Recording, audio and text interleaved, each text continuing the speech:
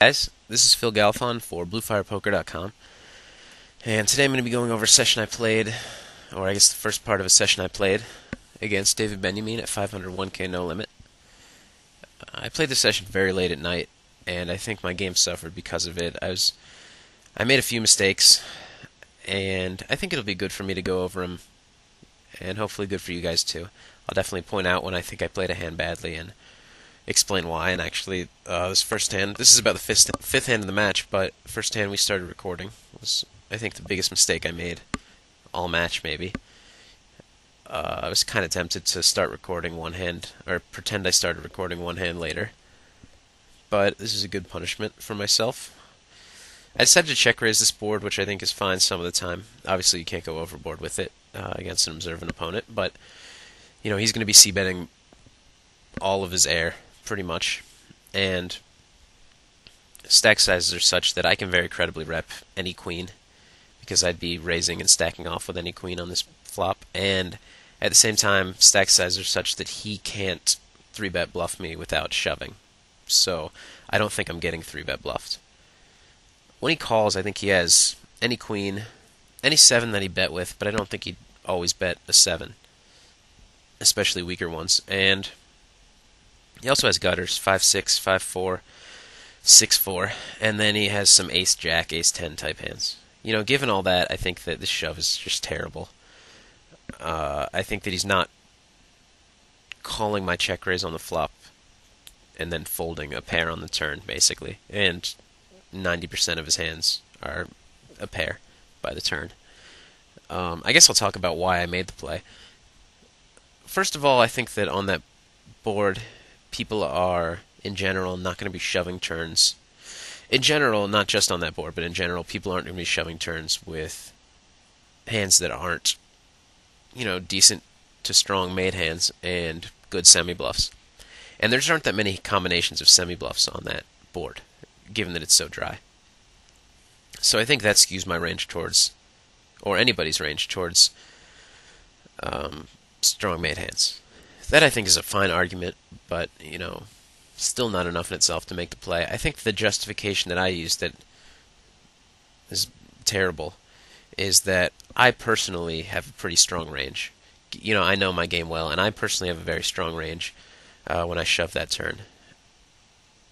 And the problem with that is that even if David Benyamine's call is minus EV or minus G bucks, if you will, against my range. Um,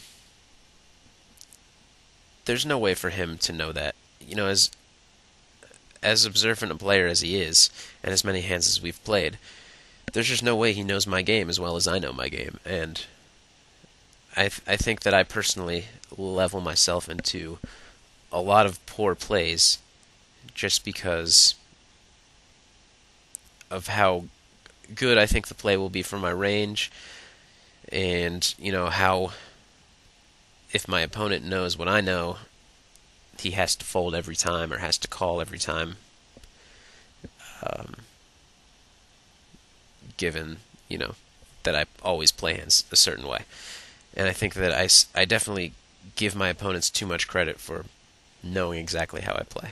Anyways, this hand I c bet, which I do pretty much against anyone you know, I I think I get him to fold enough on this board to make it a profitable bluff, and also I get called by floats occasionally. And the other thing is I can't really check it down very often. People bet turns a lot, and I definitely can't call a turn, any turn, besides a deuce with this hand. Uh, when he bets the river, it's pretty interesting.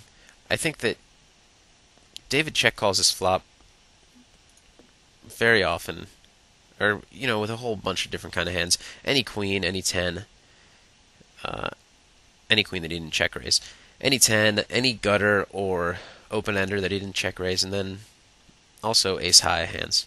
Pretty much any ace high hand, I think. I'm not positive about that.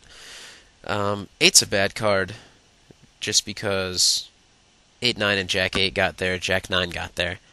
But you know, given that he's bet the river now, we can take eight nine and eight jack out of his range. So right now I'm losing to any queen, jack nine, any, you know, turn to river two pair like 10 6, 6 4, 10 8, and any kind of slow played hand on the flop. I think that covers it. Hands that we beat King 9, King Jack, and Ace High, basically. Um, so, you know, a lot more hands that we lose to than beat, but I felt that he would check a lot of his tens here, given that um, like I think he could value bet an ace ten type hand here, but I, David likes to bluff catch, and I thought he might view this river as a good card for me to bluff, and decide to turn ace ten, maybe even some weak queens into bluff catchers and just check call. I also think that his weaker bet sizing skews his hand a little bit more towards a bluff. Not very much, but a little bit. And certainly away from hands like Jack 9 and 2 pair, I think he would bet those bigger. I think he'd bet queens like this and maybe ace 10 if he decided to bet, or king 10. I also just think that he would turn hands like if he has a hand like king 9 or ace 5, I think he would turn them into a bluff almost always, even though they have a bit of showdown value, just because this board is so conducive to bluffing. Just because I, I, have to give him credit, or he should think I should have to give him credit for a hand. I'm also getting two and a half to one. I think it's a very close spot, and I did decide to call. Um, he had queen nine, which is certainly one of the hands that I could have expected to see, but I'm pretty fine with my call there. I don't have to be good all that often.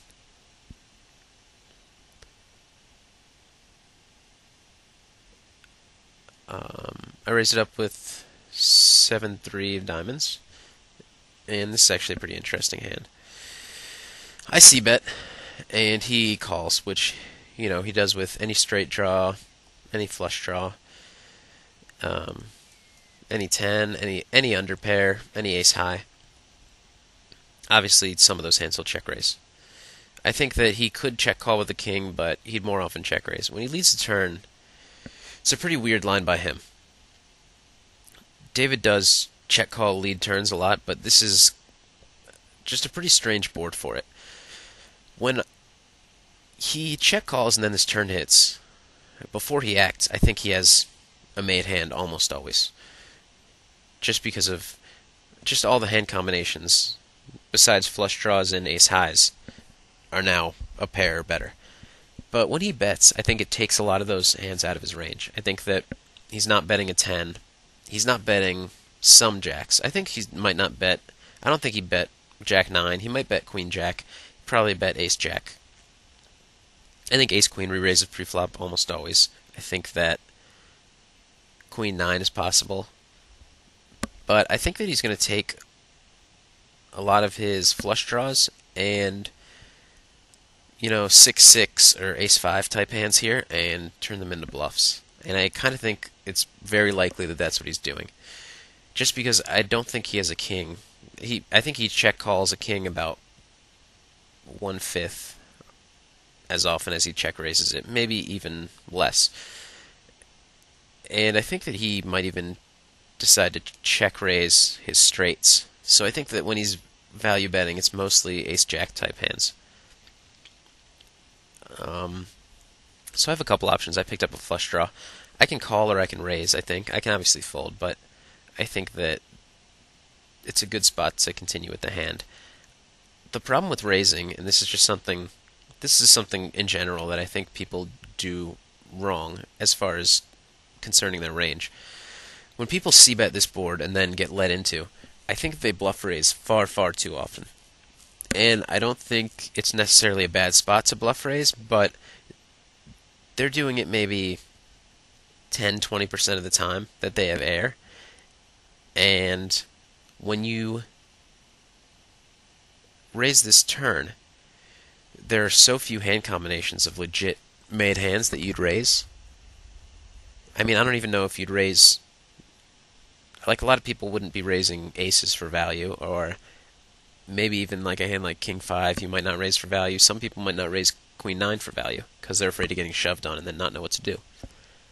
So there are just not many hand combinations that are raising this turn for value, And if you're bluff raising 10 or 15% of the time, when you have, you know, 95% of your pre-flop range because you c-bet the flop, which doesn't mean anything about your hand, you're just going to show up with bluffs. I mean, off the top of my head, total guess, six times as often as you have a made hand, maybe 10. I don't know.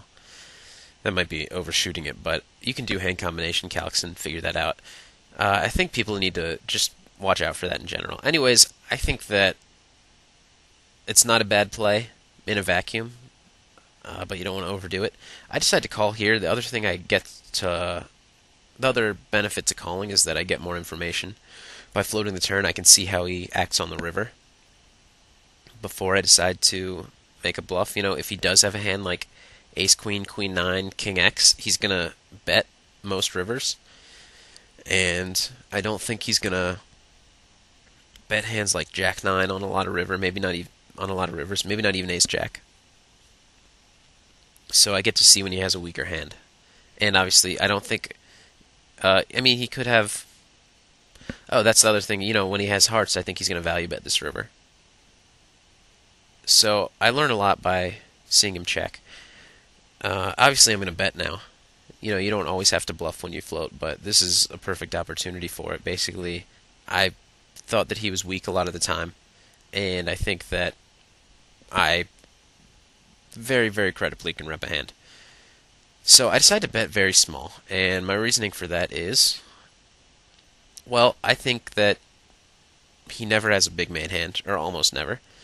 He has, you know, ace jack, queen jack occasionally, but I actually don't think they're folding. I don't think that any bluff is profitable against ace jack or queen jack. That's not to say they're never folding, but if I made a large bet, I think he would call it too often to give me a good price on my bluff. Since he never has a 10, really what I'm trying to fold him off of are his hands like 6 6, ace high, and, you know, I guess that's about it, to be honest. You know, under pairs and ace high. And, you know, some weird spaz play with a 10. So I think that all I need to bet to get him off of those hands is 13,000. And also, you know, I can very credibly rep a whole bunch of hands. I can rep any king, I can rep uh, queen 9, uh, ace jack. I also definitely am very capable, and he knows this, of betting very weak there with a very strong hand, hoping to induce a bluff. So he folds, which is a good result, and I'm pretty happy with the way that hand played out. Um, David and I have played a lot, but not a whole lot recently. Uh, he kind of took a hiatus from No Limit for a while before coming back. Um, I guess once this video is up, uh, he'll have been playing for a little longer. But when I recorded this, it was one of his first sessions back at No Limit. I guess Rail Heaven kind of brought him back and you know his success kept him there. He ended up doing pretty well in the month or two following this recording.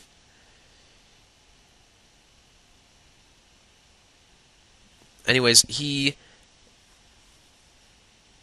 we have reads on each other, but it's pretty much all not very useful just because we've kind of changed our games. I know I've changed my game since we've played a lot of hands, and I, I believe he has too. I know he has too after playing this session, but at the beginning of the session, I believed he did. Um, I limp here. You know, I like to mix in some limps. He's been three betting a little bit more, so I, I decided to start limping more. And I decided to two barrel this board. I think that I should have bet less. You know, I'm essentially trying to take him off hands that are worse than mine, but have outs which is not something you know I always like to do. But the other thing about it, just because I think he has gutters a whole bunch of the time, and you know hands like Queen Jack, King Jack, if he didn't raise them pre-flop, actually he'd raise those. But like Jack ten, uh, I think he floats with overs here a good bit, and you know you might say why just bet to take him off hands that you beat anyways, but he's going to be betting the river with those hands, and I can't call. So I basically want him to fold those hands before he can bluff me with them. I think that I could have bet smaller, just because if those are, I'm not trying to fold out a six. I'm not trying to fold out an ace high that turned a pair. So I'm I'm only trying to fold out hands like five seven, uh, seven four, etc. Jack ten. Um, and I think I actually like to bet small here and then bet on the river again. Given that I bet a little bit big, I think that I can't really bluff the river just because his range is weighted towards stronger hands. And obviously, when I hit a queen, I check it down, hoping it's good. And it's not, but whatever. Um, uh, one thing I wanted to mention about limping against people who are three betting a lot, you don't really. I think the main reason for doing it, people don't realize. I think people think that you limp because you're trying to avoid getting three bet with those hands that you want to limp, which is, you know, one reason to do it. But you also, a lot of your limping range can't be calling a big raise, and a lot of people do raise kind of large against limps. So that's not the main reason. I think the main reason that it's good to limp against somebody who's three betting a lot is that it makes your open raising range a lot stronger, and most people don't adjust for it. So when you start limping half your opening hands, the weaker half for the most part, with a few good hands mixed in for balance. Uh, when they three bet you, their three bets, their their weak three bets or loose three bets become a lot less profitable. Uh, they actually become bad plays a lot of the time, and I think people don't realize that, and they three bet far too much against people who limp. And you know, you you end up having you know premium hands or hands like Jack Ten suited that play really well in three bet pots. So you can kind of get a lot of value from them overplaying their hands against your range. I think it's always good to be able to understand how to adjust your game and how it impacts the dynamic of the match, especially against people who just play like robots and don't adjust their game. Not that David's one of those people, but a lot of people do just play the same pretty much no matter what against everybody. And if you can change the dynamic of the match without them really realizing it, you can make them make a whole lot of mistakes. On a board like this, I think that he checks behind with a pair a lot, um, or ace high, but I think it's a pair too often by the turn for me to bet there to do anything but check fold.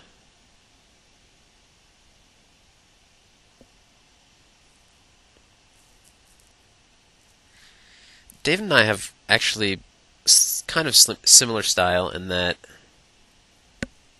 we are,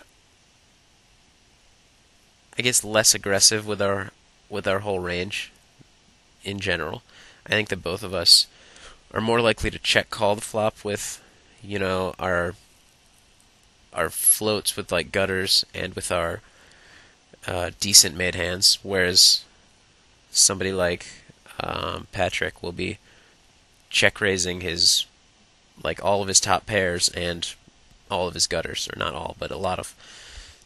And I don't think it's a, I don't think it's a bad way to play. I think it's just a different style, and it it keeps it keeps your variance a bit lower just because pots are smaller. And uh, you know, some people play worse in small pots than they do in big pots, and I think playing the style that we play kind of capitalizes on that. This hand I limped, and he check called the flop. I think he does that with. I think he mostly has a seven or some kind of straight draw or flush draw, or maybe just two overs. When he bets the river, I think it's pretty interesting, but I think that he, getting to the river this way, will feel compelled to bet all his, whatever, Jack nine type hands, six, five. So I think that I'm good enough at the time to call. It actually shows a six, which isn't not a bad play. Just because I, if I did have king high there, I would have picked it off. I wonder if I played the board if I would have called. I probably wouldn't, just because of all the times. You know, if I'm right, we chop. If I'm wrong, I lose. So I'd have to be right. You know, much more often to make that profitable. So he's really only getting value from king high there. But that said, it's not that bad a play.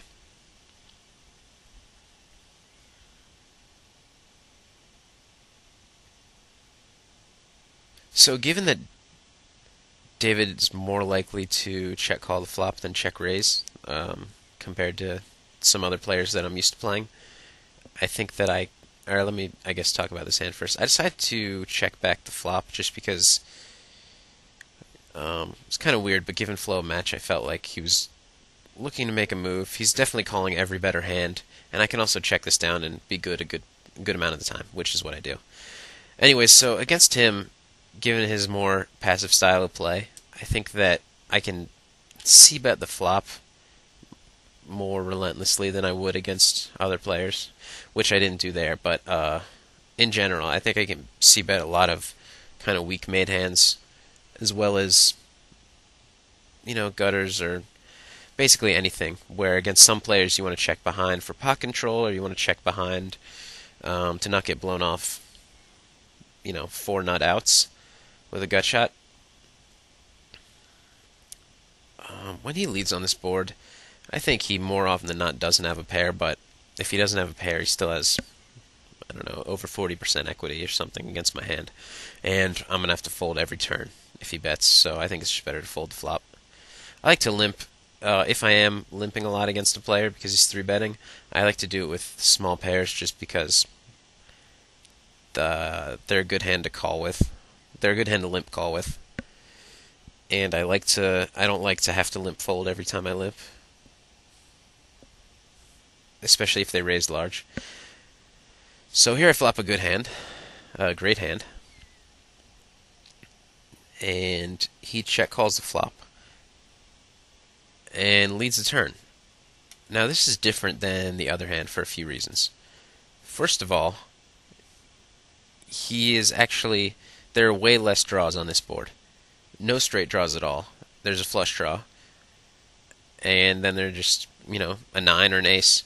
So basically, he has when he check calls, unless he's making you know the rare crazy float, he has an ace, a nine, a flush draw, or some kind of pocket pair. When he leads the turn,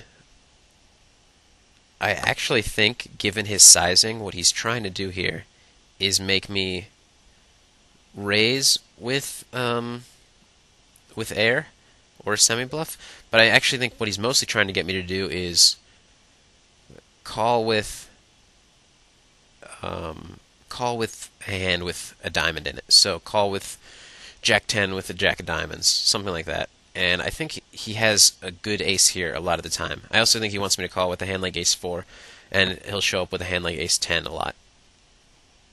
I don't think he has a flush that often, though it's very possible. And I think his plan is to bet the turn weak and I'll talk myself into a cheap, cheap-ish float with uh, Jack ten with the Jack of Diamonds, and then I think he'll actually check call the river, uh, depending on what it is, of course. But I think on a blank river he'll check call. So what I decided to do is call. You know, I could raise and get, and I I don't think he's going to fold an ace all the time if I raise, but I do run into a flush occasionally or a better nine occasionally, and I think the chance of that um, given with how I expect to get paid off on the river, uh, makes it more of a call. Obviously, it's a great river for me. If he did have a flush, I beat it now. If he did have um, a better nine, we chop now. So he checks, and I want to make a bet that looks like I could have, you know, a turn float. I think that he would expect me to bluff. Uh, I think he expects me to bluff on this river more than I actually will. Just because I think he expects me to float more than I actually will on the turn. I think he may not have thought as hard as he should have in this spot to realize that he can't really show up with air to check call lead this turn. Um, which, you know, he certainly has in his mind that last time he check called led the turn, he had a weak hand or air. And I, and I picked it off. So I think that he's more likely to have a value hand here, even though it's not really a good board for it, in my opinion. So I settle on 21.5, which I think is a good amount. I think betting closer to pot, just given our history, uh, is not a good play for me. And I think that betting smaller, I think this gets called just about as often as a smaller bet. And he does call, which is a great result. And he actually had ace 8, which is. it was a bit surprising to me. I thought that he would have a stronger ace, but not all that surprising. I did expect to see an ace a lot of the time.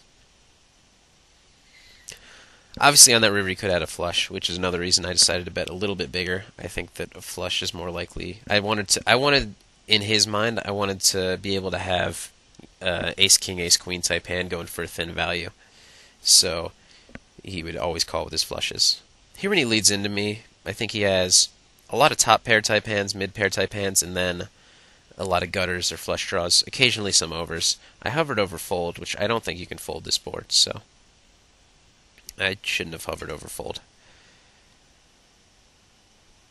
Maybe I was trying to level you guys into thinking that you can make me fold. Ace high gut shot on the flop with the lead. Uh, turns an ace, which is a good card. It is a diamond. But actually, given his tendencies and his bet size here, I think that he actually has a good eight a lot of the time. I think he has a hand like queen eight that's um,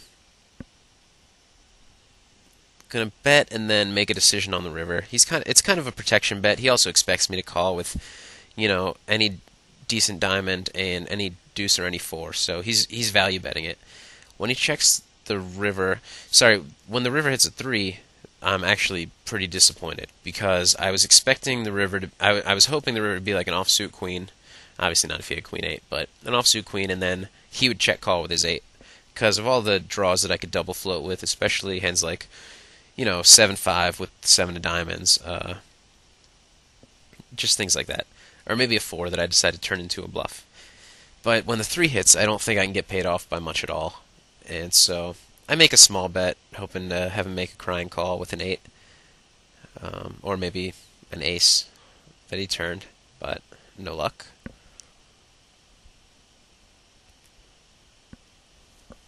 So I've, I guess, fought back to get him to the stack he started with after I gave it all to him in one hand. The pace of the match has been fairly slow. I guess we've played a few big hands. But I think in general, uh, when David and I play heads up, it's a pretty slow paced match given the way both of us play. I think we're both more comfortable in smaller pots.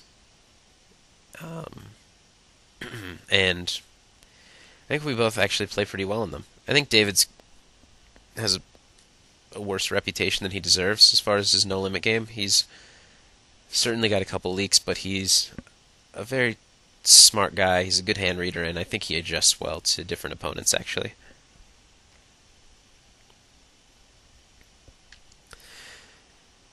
This match, compared to previous matches I played with him, he's definitely gotten a lot more aggressive. He's 3 bet.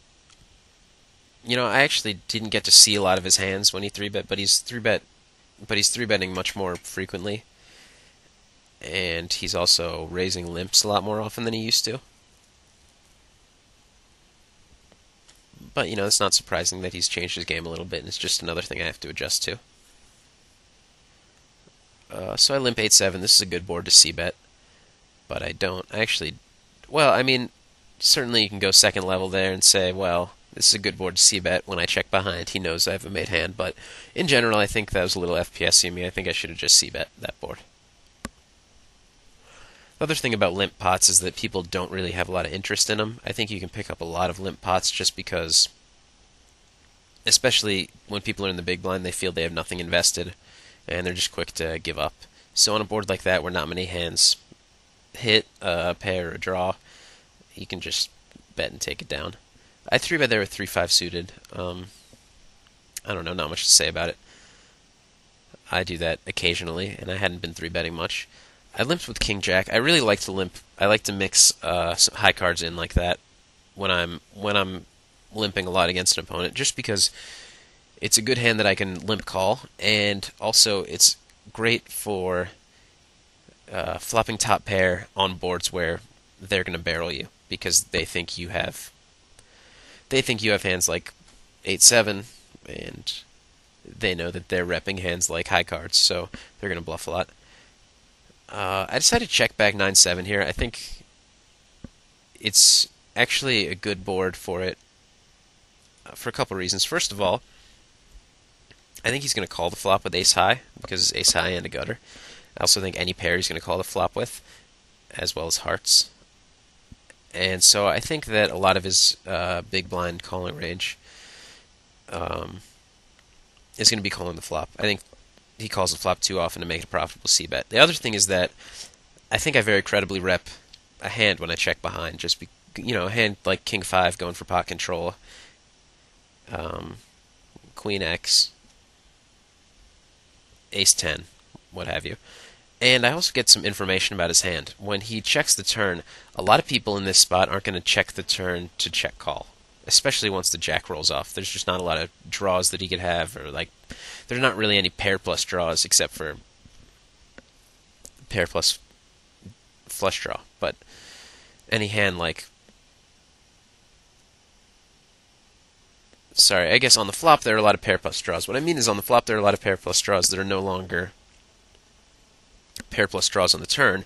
They're two pair or made draws that he's going to be betting into me with. So when he checks, I think that he's actually going to be folding a lot of his tens and jacks there, unless they have like a decent heart with them.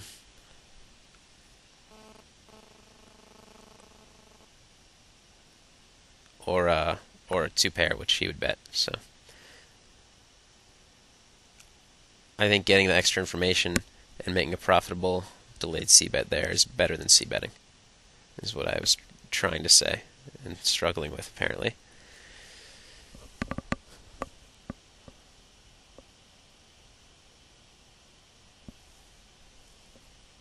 Ace X is a hand that when I'm limping, I actually like to limp a good amount of the time. I like to raise it some of the time. Basically, I just mix it up for balance. Alright, so here we finally pick up a good hand. Uh, I guess we've picked up a couple, but tens is really pretty. So I decided to three bet. Um, I would always three bet this, especially with stacks. He shoves, it's an easy call, and it's just a cooler. I mean, nothing either of us can do there.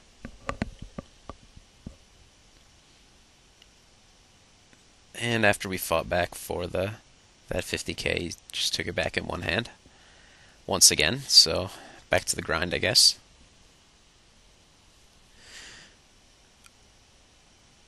At this time I was playing only one table, which I think is actually bad for my game. I can focus a lot more on the table, but I also think I get a little over FPSy. I try to fight for too many pots, and I, you know, have more time to think, but I also kind of outthink myself a lot of the time. I think that's one of my biggest leaks is that I outthink myself. Uh, I certainly think it makes me a little bit harder to read, but at the same time, I think I make a lot of mistakes because of it. So he leads, and I call with Jack 8, um, standard. Turns a 7, and this is actually pretty interesting. I think the standard plays to check, but I think that David has a lot of 7s in his range, as well as 6s. I think he leads sometimes with a 6, and I think he leads with you know hands like Ace 7, King 7, Jack 7, any 7 basically. So what I'm trying to do here is get value from a 6 or a 7. He'll also occasionally check call with a hand like Queen Jack here, uh, rather than bet it again. He'd probably more often bet it, but he could check call with it. Anyway, so I'm trying to get him to call with some of those hands, or maybe a worse 8, like 8-5, 8-4 suited if he happened to play that. Uh, the other thing is that if if I am beat, I have a good amount of equity. You know, against a hand like Ace 10, I have 8s, 9s, and Jacks.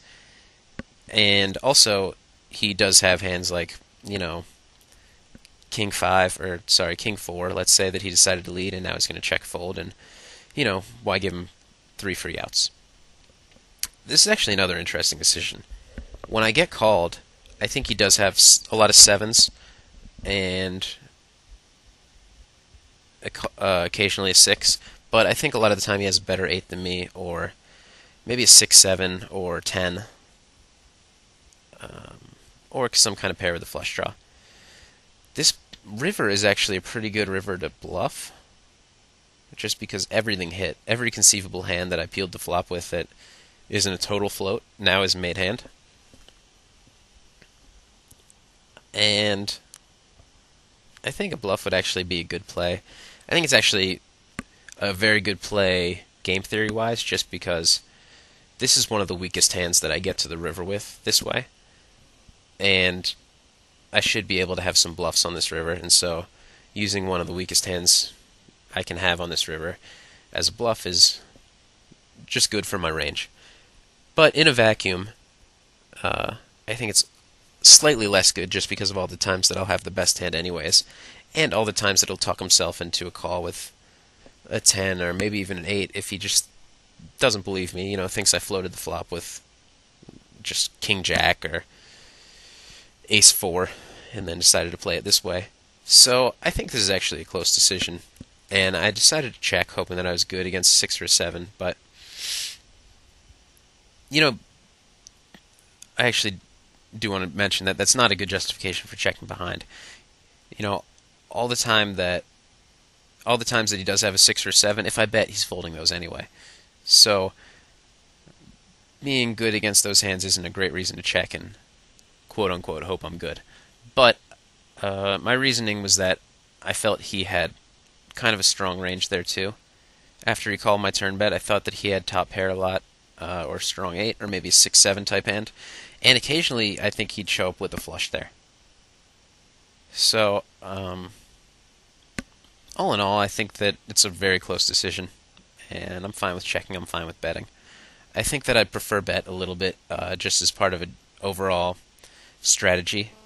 I think it's good for balance and good for metagame, but I'm fine with the way that played out. So here I made a standard C bet after a raise, and I turned an open ender. And this is a weird spot because I don't expect him to fold the turn all that often. A lot of his pairs are now pair plus gut shot type hands. S- um, sorry, not not necessarily a lot of them, but he either has an ace, so any ace that I think he's going to call the turn with, and then some of his kings are, you know, king jack, king queen that he's certainly not going to fold with. He might also just call with, you know, king six suited, and then also he's going to be check calling his flop with Queen Jack, uh, Queen 10, 10 Jack, that now have a pair and a gutter. So I felt that I couldn't get him off many hands besides a 7 here, uh, except with two barrels, and I felt that I wouldn't get enough information to know that two barreling's profitable. Like when he check calls a turn, I think that he's going to call on a lot of rivers.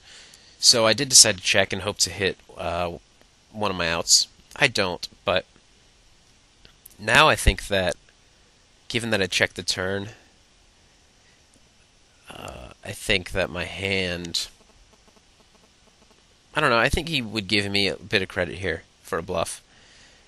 But I, I did decide to check just because I felt that he very often would have a two pair hand that he'd check to induce, and also that he would have. Let me pause it for a second.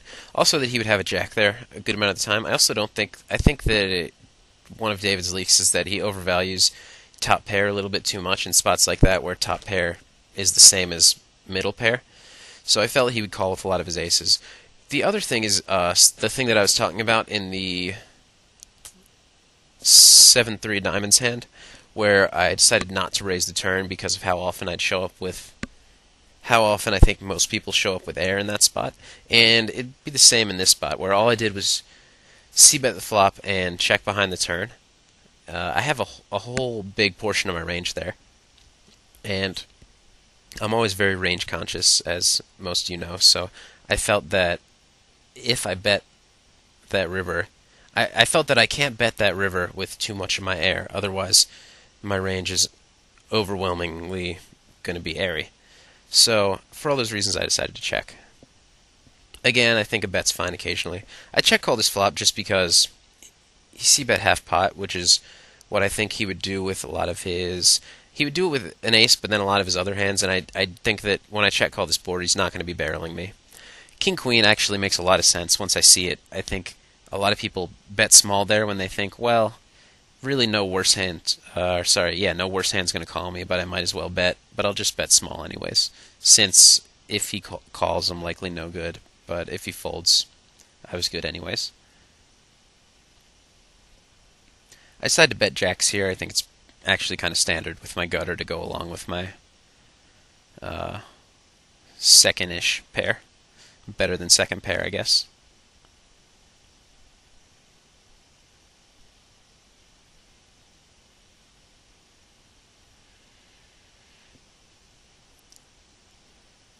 Here's another, I don't know, standardish board to c bet. I guess nothing really to talk about.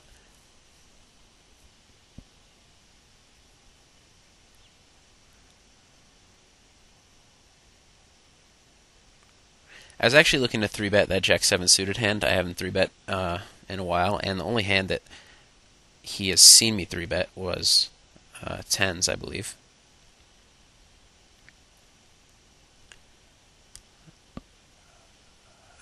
I'm getting three bet a whole bunch, and I'm actually considering making some four bet bluffs.